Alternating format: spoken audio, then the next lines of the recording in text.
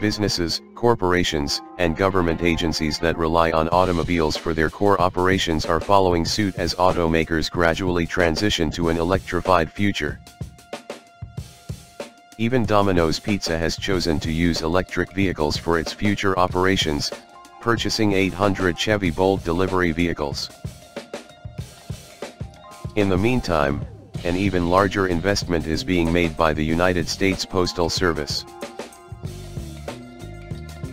The United States Postal Service, USPS, was looking for a new delivery truck for a long time in order to cut costs and work more efficiently.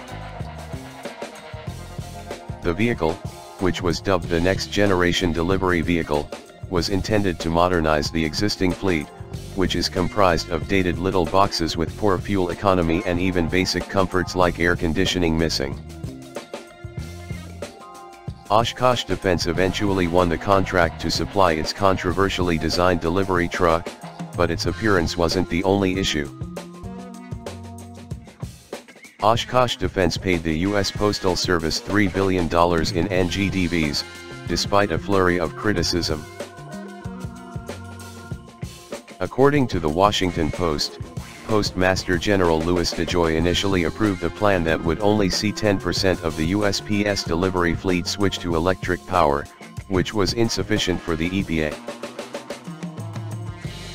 Those who advocated for the USPS to acquire more electric vehicles, according to USPS representatives, were not interested in the organization's financial stability, and the Postal Service must be self-sufficient.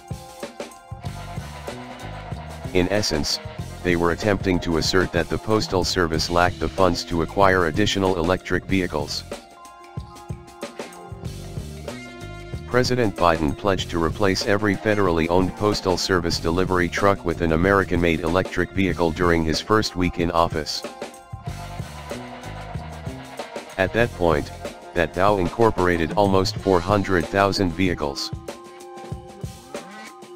According to the Biden administration, a portion of the $400 billion made in all of America plan would be used to pay for the vehicle replacement.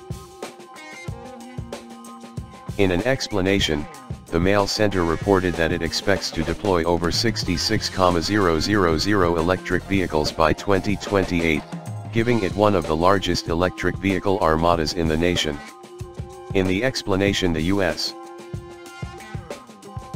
Mail Center said it hopes to contribute $9.6 billion to buy the vehicles with $3 billion coming from reserves given by the Expansion Decrease Act.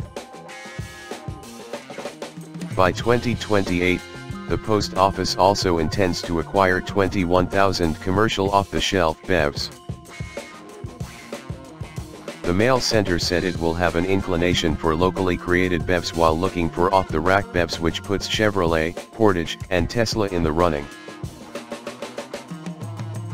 Although the number of battery electric vehicles in the United States Postal Service, USPS, appears to be significantly behind President Biden's goal of nearly 400,000 BEVs, 66,000 seems like a significant number overall.